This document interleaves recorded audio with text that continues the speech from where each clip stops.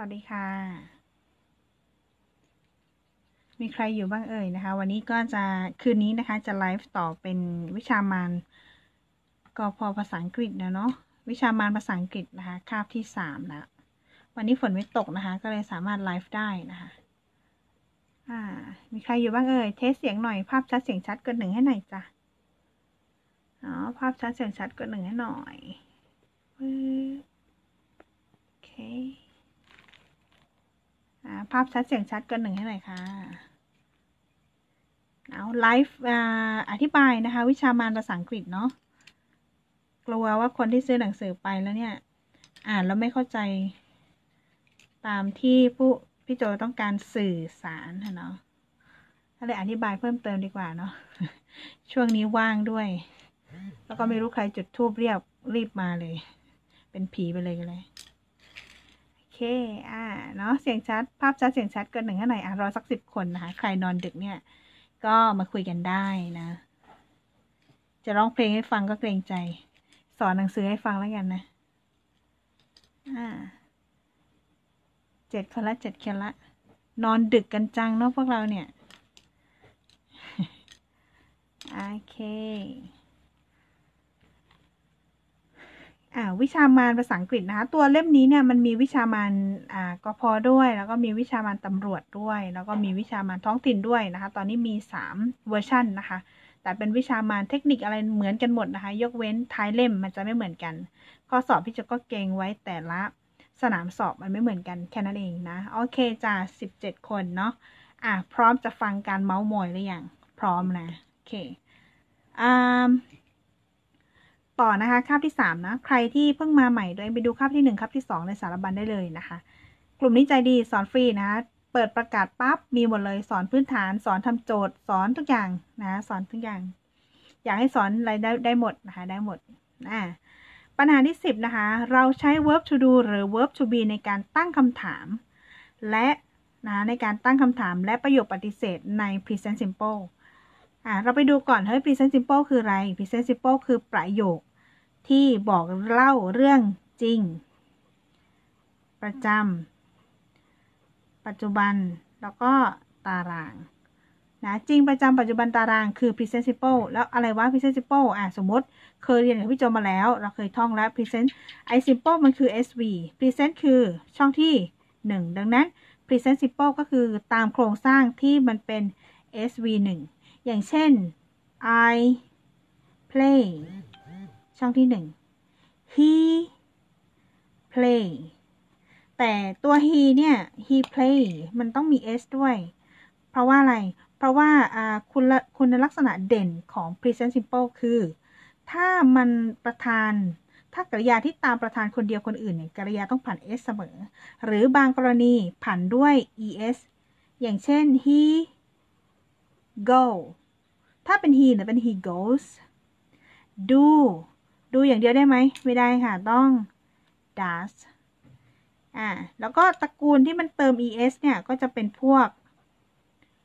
wash นะคะ ลง wash เนี่ย อยู่ๆ จะเป็น he wash ได้ไหม ไม่ได้ ต้องเป็น watches นะ watches อ่า นะคะ ก็คือจำหลักๆ ก็คือมีลงท้ายด้วย o ลงท้ายด้วย s ลงท้ายด้วย double s ลงท้ายด้วย cs นะคะลงท้ายด้วย z นะลงท้ายด้วย z ตรงนี้ก็คือจะเติม es นั้นก็นอกนั้นก็คือจะเติม s ธรรมดา นะคะ โอเคอธิบายไปแล้วนะ present simple คืออะไร คือประโยคที่บอกเรื่องจริงประจำปัจจุบันตาราง โครงสร้างเป็นไงพี่โจ present simple คือ sv present คือกริยาช่องที่ 1 นะคะ แล้วก็สิ่งที่ต้องจำให้ดีเลยตัว present simple เนี่ย ประธานถ้าเป็นคนเดียวคนอื่นกริยาเราต้องเติม s ถ้ามันลงท้ายด้วย o double s s c h z นะคะ เราต้องผันด้วย es โอเค เข้าใจตรงกัน ทีนี้ปัญหาของเราคือ อ่า เมื่อไหร่ต้องใช้ verb to do เมื่อไหร่ต้องใช้ verb to be อย่างเช่นในบางกรณีเนี่ย ใน present simple เนี่ย เราเห็น do you eat pizza do you eat pizza นี่คือ simple นะอ่า is she a nurse is she a nurse นะคะ is she a nurse อ่าแล้วทำไมการการตั้งคำถามนะคะการตั้งคำถาม บางครั้งก็มีดูบางครั้งก็มี is ตกลงให้ใช้อะไรพี่โจ เอาให้แน่ เอาให้แน่ผมงงอ่าสมมุตินะคะ ไม่ได้ไม่ได้อยากมีเรื่องเนาะอ่าโอเค ตกลงให้ใช้อะไร is หรือ do เราดูยังไงคะ เราต้องไปดูที่ตัวแปรของเรา ตัวตัวที่เป็นกรรมการของเราคือ กริยาค่ะ กริยาแท้นะคะกริยาแท้และกริยาช่วย เราต้องรู้จักตัวนี้ก่อน เราถึงจะรู้ได้ว่าตัวไหนต้องใช้ดูตัวไหนต้องใช้ is นะคะหลังที่จบกอธิบายตรงนี้ไปแล้วนะคะกริยาแท้หรือกริยาหลัก ก็คือกริยาหลักคืออะไรกริยาที่เรารู้ความหมายนะคะรู้ความหมายอย่างเช่นพี่จะบอกว่า I will go นะคะ I will go will แปลว่าอะไร จะ ฉันจะเข้าใจปะไม่เข้าใจ I go ฉันไป ตัวเนี้ยแปลว่าไป รู้เลย รู้ความหมาย ตัวเนี้ยเป็นกริยาหลักหรือกริยาแท้ ตรงนี้เป็นกริยาช่วย นะคะเออเรารู้รู้ได้ไงพี่โจอันไหนช่วยอันไหนแท้อ่า อย่างนี้เราแก้ปัญหาอย่างนี้ ตัวเองไปท่องมาแล้วกันยี่สิบสี่ตัว ที่ให้ไปตั้งแต่หน้า อยู่หน้าไหนนะ หน้าต้นๆน่ะอธิบายคาบที่คาบที่หนึ่งอะคาบที่หนึ่งหรือคาบที่สองวะหน้าที่สิบสองนะนี่ตัวเองไปท่องมา นี่คือกริยาช่วย ไปท่องมาให้หมดนะคะอย่างเช่น verb to be is am are was were been verb to do do does did done verb to have has had had can could will would shall should must need dare ought to used to ตกตัวหนึ่งค่ะ may might นะ may might นะคะ เพิ่มตัวนี้ด้วยนะ ซื้อหนังสือไปเพิ่มตัวนี้ด้วยนะคะ อะ ไปท่องตัวนี้มา เราก็จะรู้ว่าตรงนี้เป็นกริยาช่วย ทีนี้สาระสำคัญคืออขออนุญาตพลิกไปพลิกมาเนาะเพราะว่าเอาหนังสือจริงมาสอนอะเมื่อเรารู้กริยาช่วยแล้วเมื่อกี้ใช่ไหมเราก็จะรู้ตำแหน่งกริยาแท้นะคะรู้ตำแหน่งกริยาแท้ ตัวอย่างเช่น ดูตรงนี้ I must go to school อันนี้เป็นช่วยอันนี้เป็นแท้นะคะ He is trying hard to get raise เขาพยายามอย่างมากที่จะ ที่จะทำให้รวย to get raise ช่วยแท้นะคะ อันนี้ she is beautiful เป็นกริยาหลัก เพราะมันมีตัวเดียว ลักษณะเด่นของกริยาหลัก อยากได้หนังสือนะคะ ก็หนังสือเล่มละ 200 นะคะ ค่าส่งลงทะเบียน 30 บาท เราพักโฆษณาเป็นช่วง ๆ นะ กลางเดือนพี่โจก็ไส้แห้งเหมือนกันนะ โอเค อ่า ค่าส่ง 30 บาทนะคะ ส่งถ้า EMS เนี่ย จะอยู่ที่ 50 บาท เนาะ โอเคค่ะ she is นะคะ is เป็นกริยาหลัก เพราะว่ามันอยู่โดดๆในประโยค ใช่ไหม เราก็เลยรู้เลยว่าเป็นตัวหลักนะคะ แล้วก็ดูเนี่ยเป็นกริยาหลัก เพราะว่ามันมีตัวเดียวอยู่ในประโยค กริยาในตัวเดียวในประโยค อะ ทีนี้เมื่อเรารู้หลักการไปแล้วนะคะ ดูปฏิบัติบ้าง หลักการทฤษฎีแม่นมากพอปฏิบัติเท่านั้นแหละเละใช่ไหมเออ เอาใหม่เอาใหม่ลองดู อ่าอย่างเช่น พี่โจเขียนว่าอ่าอ่าพี่โจชอบกินพิซซ่านะคะ I eat pizza I eat pizza eat เป็นมาม่ากลางเดือนมาม่ามีเสียงแทรกขึ้นมา โหดร้าย มาม่าก็ต้องนับเศษเหรียญจ้ะค่ะ I eat pizza อ่าพิซซ่า eat เห็นไหม เราฉันกินพิซซ่า eat เป็นแท้ของแท้เนี่ยเข้าใจความหมายเลย พูดปั๊บเข้าใจตรงกัน เป็นกริยาแท้ต้องการแต่งประโยคนะต้องการแต่งประโยค เฮ้ย เอา eat ขึ้นเลยได้ปะลองดูประโยคนี้ก่อน เดี๋ยวจะให้ตัดสินใจ แบ่งฝั่งเป็นสองฝ่ายนะ เหมือนการเมืองเลย เหมือนพูดเหมือนรู้เรื่องการเมืองนะไม่เลยนะ อ่า อย่างนี้กับอ่า she is a nurse อ่าตัวไหนที่สามารถใช้กริยาขึ้นไป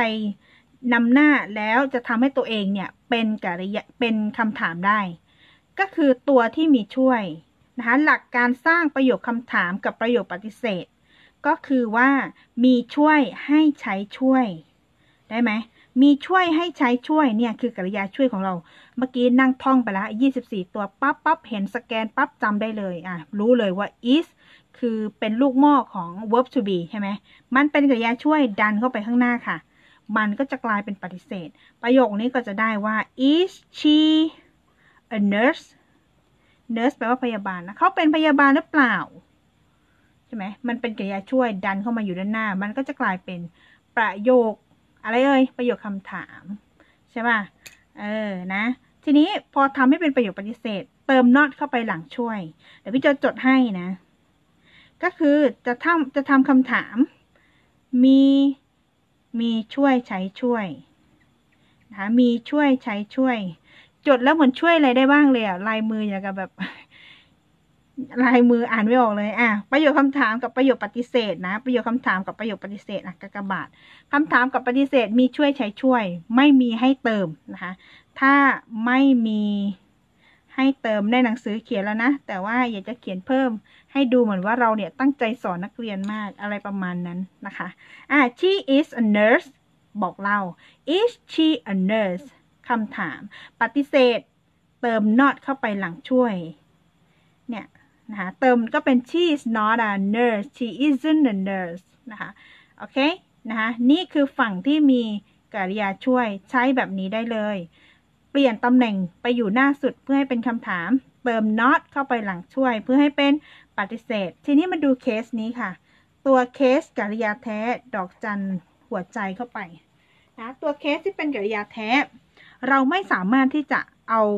eat เนี่ย ไปอยู่ด้านหน้าได้ เพราะมันเป็นกริยาแท้ ดังนั้น superman superwoman ของเราก็คือ verb to be verb to do โทษค่ะ verb to do เข้ามาช่วยนะคะ คือเคสอย่างเงี้ย เราต้องเอา verb to do เข้ามาช่วย เฮ้ย พี่โจ verb to do คืออะไรว่าเรียนตั้งแต่ป .5 ลืมหมดละนะคะจะจะไปขอความรู้คืนอย่างคุณครูก็คุณครูก็ไม่รู้ไปไหนแล้วเนาะ เออ นะ verb to do คืออะไร เราก็ดูแต่ verb to do ช่องที่หนึ่งก็คือ do does ช่องที่สองคือ did ช่องที่สามคือดันนะคะกริยา วันนี้มาทันใช่ไหมโอเค จัดค่ะ อ่า do does did done นะคะ นี่คือ verb to do ของเรานะคะ ทีนี้เราท่องอย่างเดียวเลยค่ะ มันเยอะแยะมากมายใช่ไหมเราท่องอย่างเดียวเลยก็คือ he she it เนี่ย he she it เนี่ย ใช้กับ does นอกนั้นก็ใช้กับ do นะ he she it does นอกนั้นใช้ do นะคะ ส่วน did เนี่ยมันตัวเดียวมันก็ใช้ได้กับทุกประธาน ดันใช้ตัวเดียวมันก็ใช้ได้กับทุกประธาน เฮ้ยพี่โจประธานคืออะไรวะ อ่าได้ได้ประธานคืออะไรประธานก็ง่าย ๆเลยที่เป็น I U he she it we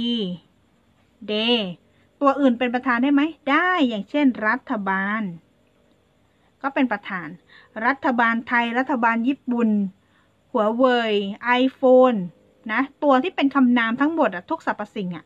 เป็นประธานได้นะคะ นี่คือเวลาเราบอกว่า เออถ้ามันถ้ามันเป็นอันเดียว รัฐบาลเดียว iPhone เครื่องเดียว เราก็ใช้กับ das ใช่ไหม เพราะมันถูกแทนด้วย it ได้ไหมคะ ไม่ใช่แบบว่าประธานคืออะไร I U his It We They จบ ไม่ใช่แค่นั้นค่ะ คำนามทุกสรรพสิ่งเป็นประธานนะคะ คำนามทุกสรรพสิ่งเป็นประธาน เพราะว่ามันจะถูกแทนด้วย it อันไหนที่สามารถถูกแทนด้วย it ได้มันมีกี่อันหนึ่งอันนะคะหนึ่งอันหนึ่งสิ่งหนึ่งอย่าง เราจะใช้คู่กับ das เนาะร่ายสกวาไปถึงนู่นนะคะอยากรู้แค่นี้ อยากรู้แค่นี้ใช่ไหม das คืออะไร das คู่กับ he she it โอเค ดังนั้น das คู่กับ he she it ถ้า it I แล้วคู่กับใคร ใช่ไหม das คู่กับ he she it I คู่กับใคร I ก็ต้องคู่กับ do ใช่ปะล่ะ เวลาถามแล้วก็ต้องเอา do I eat pizza do I eat pizza อ่าตอบ yes I do no I don't อะไรก็ว่าไป ทีนี้นี่คือประโยคอะไรคะ ประโยคคำถาม ปฏิเสธก็เหมือนเดิมค่ะ ปฏิเสธคำถามแม้มันมีกริยาแท้ก็ต้องเอา verb to do เข้ามาช่วยทั้งสองเคสนะคะ ตรงนี้ก็ต้องเป็น I don't eat pizza I don't eat pizza นะคะข้อควรระวังคือนะคะข้อควรระวังคือ ในประโยคนะ ถ้ามันมีช่วยอยู่แล้ว ตัวนี้เนี่ยต้องเป็นกริยาแท้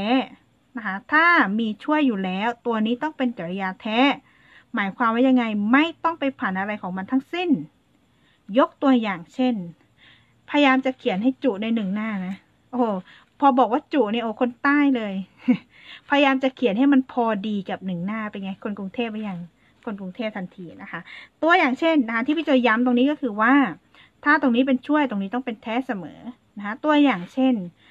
บอกว่าประโยคนี้นะ she write she write a book แต่ว่าขอเขียนสั้นๆนะ พื้นที่ไม่พอ she write ตรงนี้พี่จะผัน เพราะว่า เพราะว่าอะไร เพราะว่า she เนี่ยมันเป็นคนเดียวคนอื่นปะกริยาผัน s ตามประธานนะคะ สมมติ เราจะทำให้มันเป็นคำถาม อยู่ๆจะเอา right ขึ้นมาได้ไหม ไม่ได้ค่ะ ต้องเติม does เข้ามาช่วยนะคะ does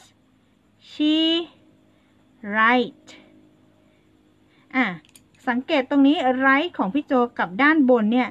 มันไม่เหมือนกันนะ right ตรงนี้มี s right ตรงนี้ไม่มี s เพราะเรามีช่วยอยู่แล้ว ตรงนี้ก็ต้องเป็นแท้ใช่ไหม does she write a book does she write a letter right อะ แล้วก็สมมุติเป็นปฏิเสธมั่งก็ต้องเป็น she does not write ไม่ต้องผันเหมือนเดิม เพราะอะไร เพราะมีช่วยอยู่แล้ว แค่นั้นเองนะ อธิบายซะยืดยาวเนาะโอเค อ่าเมื่อกี้ก็อธิบายไปแล้วนะ verb to do มีอะไรบ้าง ก็อธิบายไปละ do does did done นะใช้ได้กับทุกตัว done ก็ใช้ได้กับทุกตัวนะคะ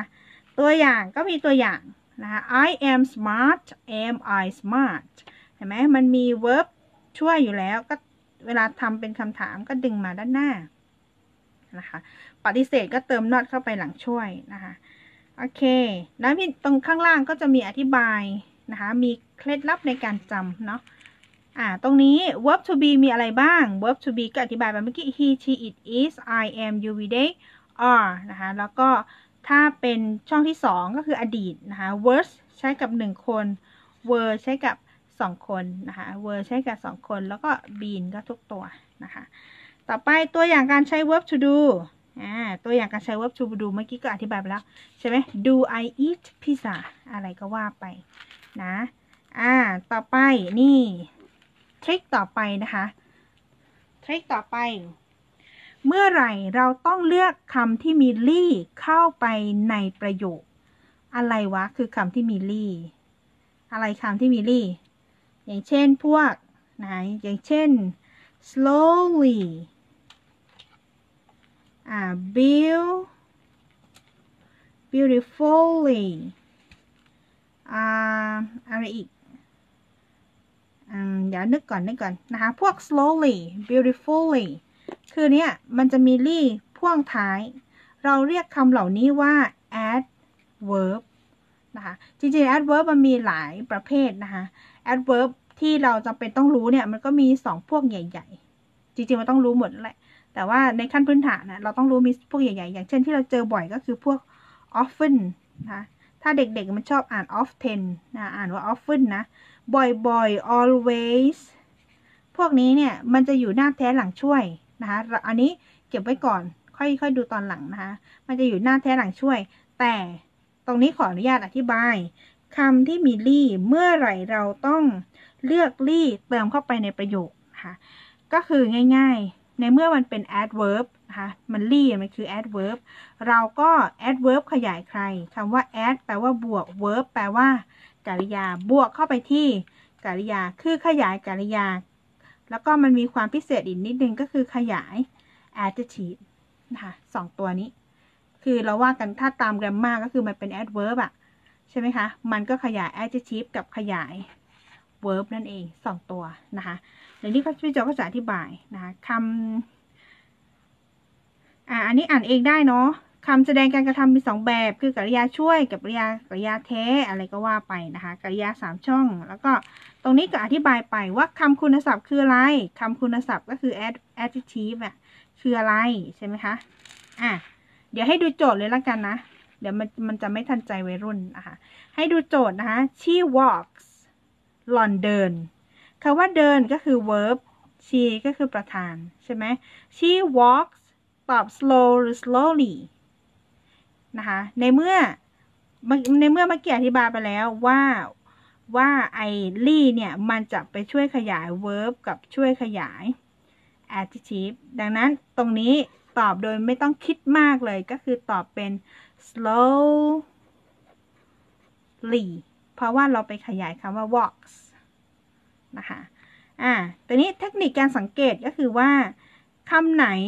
ที่เราต้องการขยายเนี่ยขยายคำอธิบายเพิ่มเติมเข้าไปเนี่ยในกรณี walk มันแปลว่าเดินมันเป็นคำกริยา เราก็ต้องใช้กริยาวิเศษ หรือ adverb ในภาษา grammar เข้าไปช่วยนะคะนะส่วนใหญ่ก็คือถ้าเห็นลี่ก็คือเดาเลยว่ามันขยายกริยากริยากับ adjective นะคะโอเค ต่อไปตัวนี้นะคะ ยากขึ้นมาหน่อย employer has sold the house employer employer has sold the house นะคะ เห็น the นะคะ the ก็ต้องเป็น the dog the red the red house นะคะ ตรงนี้เราท่องเลยก็ได้นำหน้านาม อะไรขยายนาม adjective นะคะดังนั้นตรงนี้อะ red house the red house ของเรานะคะพี่เจจะชอบชอบสอนเด็กว่าให้ท่องว่า the red house ตำแหน่งที่หายไปไปคือตำแหน่งของ red red เป็นอะไร red เป็น adjective ดังนั้น ตรงนี้เราก็ต้องหา adjective มีคำว่า beautiful beautify beautifully ขยายคำนาม adjective ขยาย verb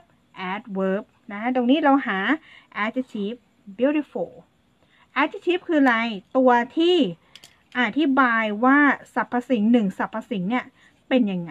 เราเรียกว่า adjective นะคะ ได้นะ ได้นะคะ อธิบายสรรพสิ่งของเราหนึ่งอย่างเนี่ย ว่าเป็นยังไง หล่อ handsome ก็คือเป็น adjective handsome รวย rich จน poor เนี่ยคืออธิบายคนของเราบ้านของเราว่าเป็นแบบไหนเราเรียก adjective อธิบายเดินยังไงวิ่งยังไงกินยังไงเป็น adverb นะคะ adverb อย่าลืมนะไม่เหมือนกันนะ adverb อธิบายว่า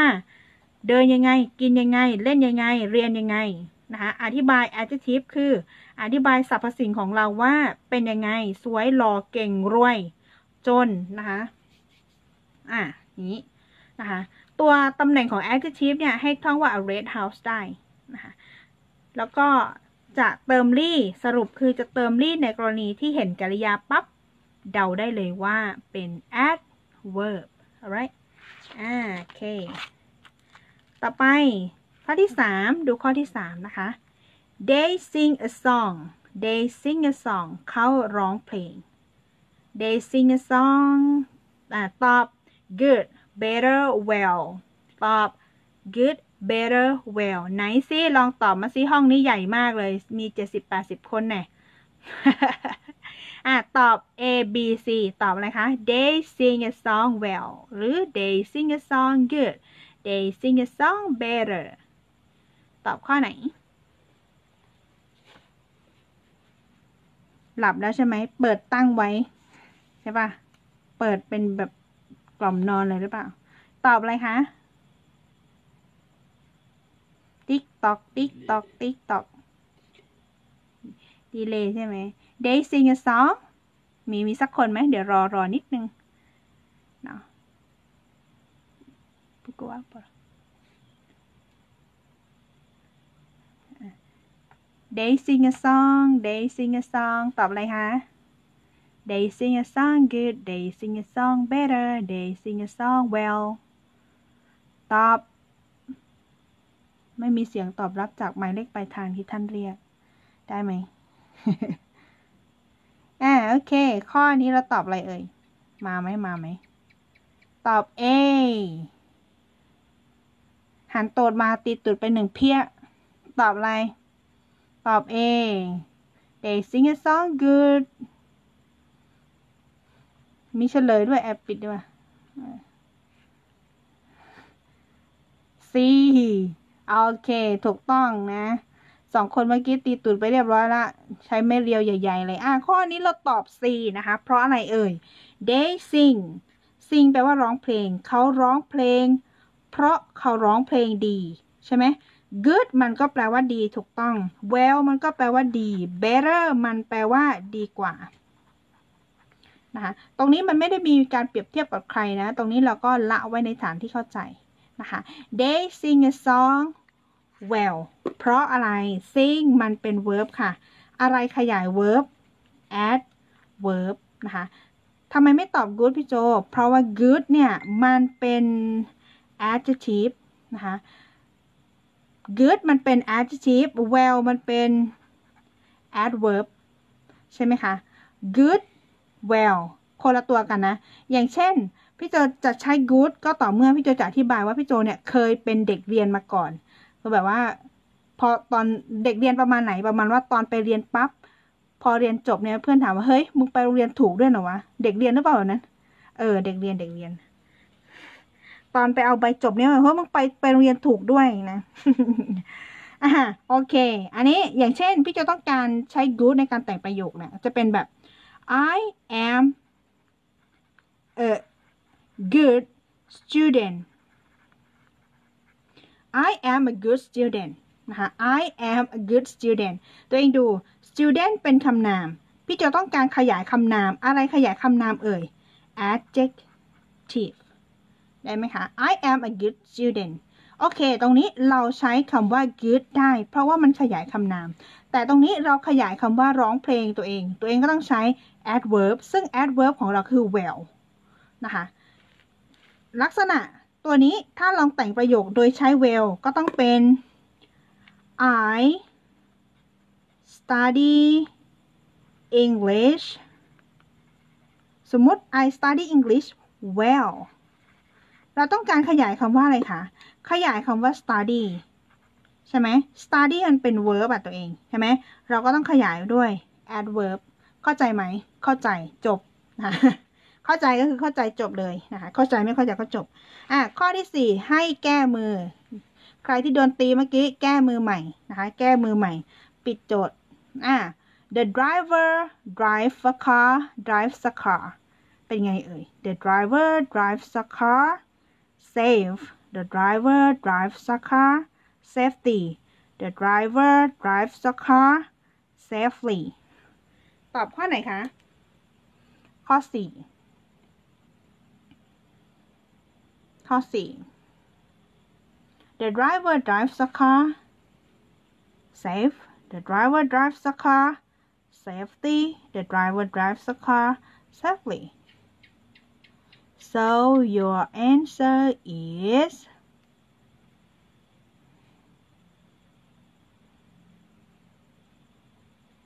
อ่าตอบอ่าตอนนี้คำตอบของเราคืออ่า C ถูกต้องนะคะ ถูกต้องอ่าอันนี้เราก็ตอบ C ใช่ไหมอ่า เพราะอะไรเอ่ย เพราะว่าเราต้องการขยายคำว่า อ่า ขยายคำว่าอะไรคะ ขยายคำคำ verb ของเรา คนขับรถขับยังไงเอ่ย ขับอย่างออย่างปลอดภัยอย่างระมัดระวัง นั่นก็คือคำว่า safely นะคะ safely โอเค adverb ถูกต้อง อ่า ต่อไปปัญหาที่ 12 นะคะ อ่า น้องเด็กหญิงหนิงตอบถูกแล้วนะคะ ข้อนี้ไม่โดนตีนะ ตอบผิดบ่อยๆนะก็เจอไม้เรียวบ่อยๆ อ่าโอเค ปัญหาที่ 12 นะคะ ปัญหาที่ 12 อันนี้เป็นเรื่องสุดท้ายสำหรับคืนนี้เนาะเราจะไม่สอนเยอะนะคะ เดี๋ยวความรู้วิจมหมดแบ่งให้เท่าที่ได้นะคะขี้เหนียวขี้เหนียวโอเค ปัญหาที่ 12 นะคะก็ถามว่าเฮ้ยถามราคาเนี่ยมัน how much หรือ how many เป็นข้อสอบของปีที่แล้วกพปีที่แล้วนะ how much กับ how many เนี่ย ไว้ถามราคาใช้อันไหนนะคะใช้อันไหนพี่โจกอธิบายไปแล้วแหละนะคะ เราท่องอย่างนี้ค่ะ much milk many many dogs ตามเคล็ดตามเทคนิคการท่องในนี้เลย how much milk many dog how much milk many dog much milk many dogs มี s ด้วยนะคะ มี s ด้วย much milk many dogs แสดงว่า much นับได้ไหม นม เออฉันกินนมไปแล้วประมาณหนึ่งร้อยหยด ใครไปจะไปนั่งบ้านนับนม แสดงว่า much นับไม่ได้อ๋อแล้วก็อย่าลืมนะคะว่าเงินของเราเนี่ย นับไม่ได้นะคะ นับไม่ได้ในทางไวยากรณ์แปลว่าอะไรก็คือ จะนับได้ก็ต่อเมื่อสิ่งนั้นน่ะสิ่งของนั้นนั้นมันจะขึ้นเป็นอ่าปริมาณเท่าๆกันนะคะอย่างเช่นปากกาหนึ่งแท่งสองแท่งสามแท่งคือปริมาณเท่ากัน แต่เงินเนี่ยมันนับไม่ได้ เพราะว่าบางทีมันมีเหรียญห้าเหรียญสองเหรียญหนึ่ง มีแบงค์ยี่ แบงค์ร้อย แบงค์พันนะคะ มันก็เลยถือว่าเป็นสิ่งที่นับไม่ได้ ดังนั้น ถ้าถามเรื่องเงินนะคะ คุณมีเงินอยู่กี่บาทเนี่ย how much money ไม่เอา how many money นะ ไม่ได้นะนะคะ เพราะว่าเงินเรานับไม่ได้ บางคนเถียง เถียงคอขาดเลยนับได้ อ่า ชีวิตจริงก็นับได้ แต่ว่าในทางไวยากรณ์มันนับไม่ได้ เข้าใจตรงกันนะ อ่าท่องอย่างนี้นะ much milk many dogs มี s ด้วย นะ many dogs เขียน s ตัวใหญ่เลยว่า many ต้องมี s ด้วยนะคะอ่าลองดูค่ะ ลองดูโจทย์ค่ะอ่าลองดูโจทย์นะคะ how butter do you want how butter do you want do you want do you want เวลาเราพูดนะคะ do you want how butter do you want butter แปลว่าเนยอะเมตตาทำคำจุนโลกแปลให้เลยอะ milk แปล milk แปลว่านม people แปลว่าผู้คน dogs แปลว่าสุนัขใช่ไหมคะ โคตรใจดีเลยเนาะคำศัพท์ป .5 ก็ยังแปลเอออะอะ children นะคะ แปลว่าเด็กๆนะคะ เด็กๆ ก็คือถ้าเด็กคนเดียวเราเรียกว่า ชาย เด็กหลายคน children นะคะ อย่าลืมนะ ชาย เด็กคนเดียว children เด็กหลายคน อะ ตอบข้อที่หนึ่ง how much milk many dogs much milk many dogs นะคะข้อที่หนึ่งตอบ much milk หรือ ตอบ much หรือ many เนยนับไม่ได้ ก็ตอบ how how much how much milk ก็นับไม่ได้ก็เป็น how much อะอะสามข้อสุดท้ายนะคะสามข้อสุดท้ายลองว่ามา นะคะสามข้อสุดท้ายจบเลยนะลองว่ามาข้อที่สามตอบ people are there in the concert มีคนเท่าไหร่เอ่ยที่อยู่ในคอนเสิร์ต มีคนเท่าไหร่คะอยู่ในคอนเสิร์ต how how how how อะไร ข้อที่สาม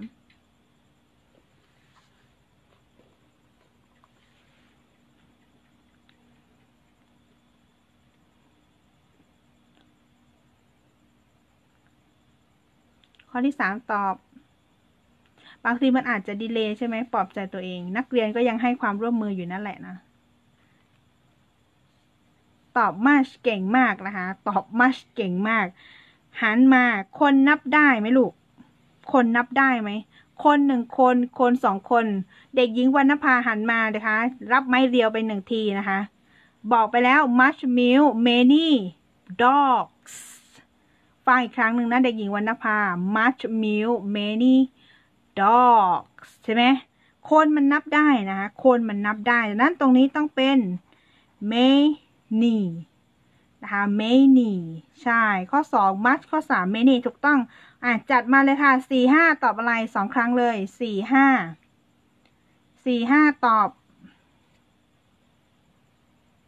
ข้อ 4 ตอบ many ใช่ many dog ข้อ 5 ข้อสุดท้าย how คุณมีลูกกี่คน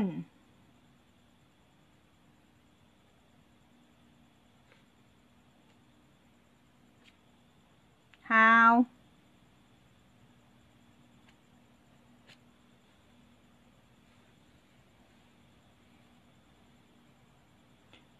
ข้อ 4 many ใช่นะ ข้อที่ 5 ตอบ many ถูกต้องนะคะ ข้อที่ 5 ตอบ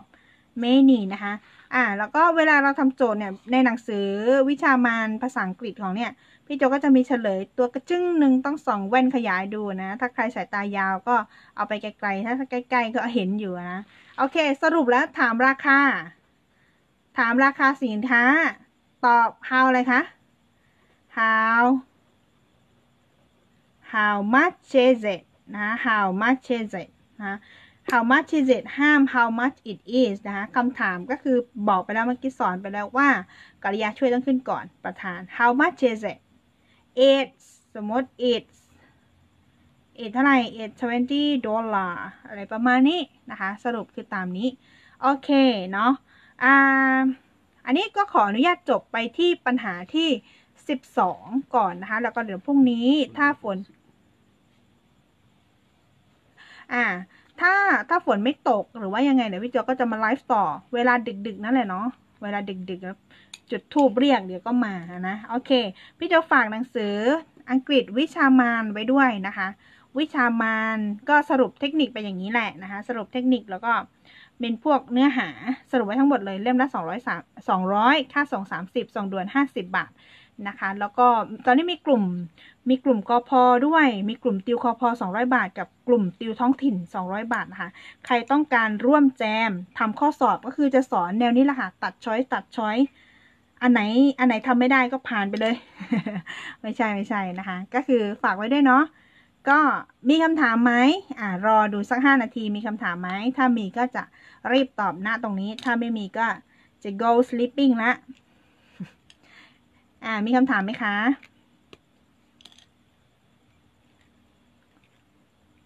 มีคำถามไหมเอ่ย เข้ามาใหม่นะคะ ใครเข้ามาใหม่ตัวเองไปดูคาบที่หนึ่งคาบที่สองในสารบัญหนังสือวิชามานนะคะ พี่โจทำสารบัญให้แล้ว แล้วก็ใครอ่อนพื้นฐานมาก ๆ ก็ไปดูในประกาศนะคะ มีอังกฤษโคตรง่ายหนึ่ง อืม อ่า สนใจกลุ่มกพอังกฤษใช่ไหมคะ โอเค เดี๋ยวพี่โจทักไปนะ ค่ะ มีปัญหาอะไรไหมตรงนี้ ถามได้ทุกอย่างเลยนะ ยกเว้นเรื่องเงินนะคะ เพราะว่าพี่โจก็ตุนมาม่าไว้เหมือนกัน ถามได้ทุกอย่างเลย ถามได้ถามมา มีคำถามไหม ถ้าไม่มีก็ถือว่าอธิบายแล้วเข้าใจ ชอบยัดเยียดความเข้าใจให้นักเรียนนะ มีคำถามอะไรไหมคะ อย่าคิดนานนะ อย่าคิดนาน ถ้าคิดนานแล้วมันจะยาก แล้วพี่โจก็จะตอบไม่ได้ คือเด็กท้ายห้องมาสอนพวกเรานะ่ะ โรงเรียนนี่ไปก็ถึงบ้างไม่ถึงบ้าง นะ โอเค มีไหมเอ่ย มีไหม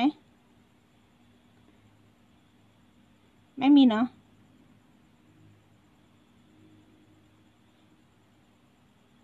สนใจกอพอเหตุการณ์ปัจจุบันกอพอคืออะไรเอ่ย เดี๋ยวพี่เจ้าค่อยทักไปคุยนะ สนใจเหตุการณ์ปัจจุบันกอพอมีไหมคะ คืออะไรเอ่ยเนาะเดี๋ยวพี่เจ้าค่อยทักไปนะคะคือกอพอเนี่ยพี่เจ้าจะติวคณิตคณิตอังกฤษนะคะแล้วก็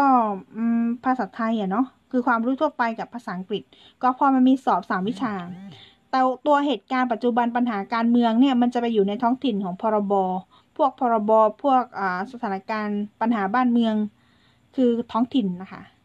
เนาะโอเค สรุปว่าจ้าโอเค อธิบายแล้วเข้าใจนะคะ กดหนึ่งให้หน่อย